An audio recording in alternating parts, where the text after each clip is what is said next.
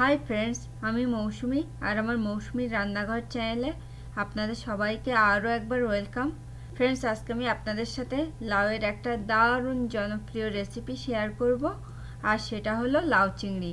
তো ফ্রেন্ডস ভিডিওটা না টেনে দেখতে থাকুন আমি এটা কীভাবে রান্না করছি। লাউ চিংড়ির জন্যে আমি আটশো গ্রাম লাউকে এভাবে ছোট করে কেটে নিয়েছি। তেল পরিমাণ মতো, জল পরিমাণ মতো চিংড়ি তিনশো গ্রাম। তেজপাতা একটা।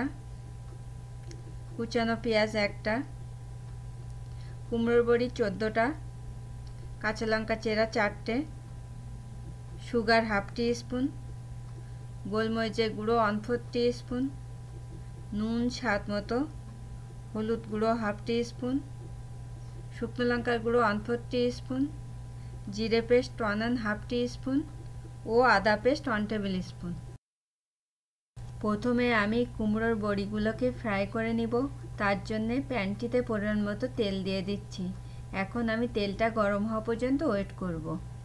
তেলটা গরম হয়ে গেছে, এখন আমি বড়িগুলোকে তেলে ছেড়ে ফ্রাই করে নিচ্ছি।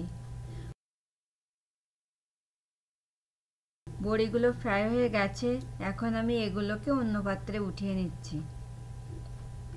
এবার আমি একই তেলের ভেতরে একে একে তেজপাতা, কুচানো পেঁয়াজ, জিরে পেস্ট, আদা পেস্ট, হলুদ গুঁড়ো, শুকনো লঙ্কার গুঁড়ো, স্বাদ মতো নুন ও চিংড়িগুলো দিয়ে এমনভাবে কষিয়ে নিব যেন মশলার কাঁচা স্মেলটা চলে যায়। ফ্রেন্ডস, এখানে সামান্য পরিমাণ শুকনো লঙ্কার গুঁড়ো অ্যাড করলাম শুধুমাত্র সুন্দর একটা কালারের জন্যে। আপনারা চাইলে এটা স্কিপ করতে পারেন, কারণ এটা অপশনাল এটা কষানো হয়ে গেছে। এখন আমি লাউ ও কাঁচা লঙ্কা চেরা দিয়ে আবারও একটু কষিয়ে নিচ্ছি। ফ্রেন্ডস আপনাদের পছন্দ অনুসারে লঙ্কাটাকে অ্যাডজাস্ট করে নেবেন। আর এখানে কিন্তু জলটা খুব সাবধানে অ্যাড করতে হবে, কারণ লাউ থেকেও বেশ কিছুটা জল ছাড়বে। এখন আমি সামান্য পরিমাণ জল দিয়ে এটাকে পনেরো মিনিটের জন্য ঢেকে দিচ্ছি। ফ্রেন্ডস আপনারা এটা স্পেশালি গরম সাদা ভাতের সাথে সাইড ডিশ হিসাবে সার্ভ করতে পারেন। এখন আমি এটাকে নাড়িয়ে দিচ্ছি যাতে সব কিছু ভালো করে সেদ্ধ হয় ও তলায় লেগে না যায়। ফ্রেন্ডস আপনারা চাইলে এখানে একটু আলু ও টমেটো অ্যাড করতে পারেন, কারণ এগুলো অপশনাল আবারও আমি এটাকে পাঁচ মিনিটের জন্য ঢেকে দিচ্ছি। এখন আমি ফ্রাই করে রাখা কুমড়োর বড়ি সুগার ও গোলমরিচের গুঁড়ো দিয়ে খুব ভালো করে এটার সাথে মিশিয়ে নিচ্ছি। ফ্রেন্ডস আপনারা চাইলে এগুলোকে স্কিপ করতে পারেন, কারণ এগুলোও সব অপশনাল তবে আমার কাছে মনে হয় লাউ চিংড়িতে একটু কুমড়োর বড়ি ও গোলমরিচের গুঁড়ো দিলে লাউ চিংড়ির টেস্টটা অনেকখানি বেড়ে যায়। আবারও আমি এটাকে পাঁচ মিনিটের জন্য ঢেকে দিচ্ছি।